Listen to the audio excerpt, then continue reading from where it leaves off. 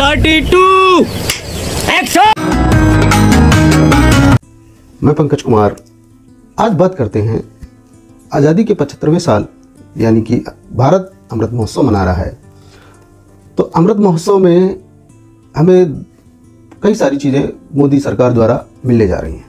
तो जैसा भारत की नई संसद भवन तो भारत के नए संसद भवन में इनोग्रेशन उसका 28 तारीख को है और 28 तारीख के मौके पर सेम उसी दिन भारत को वित्त मंत्रालय की तरफ़ से एक सिक्का जारी हुआ है, पचहत्तर रुपये पचहत्तर रुपये के इस सिक्के में ऐसी क्या खासियत है?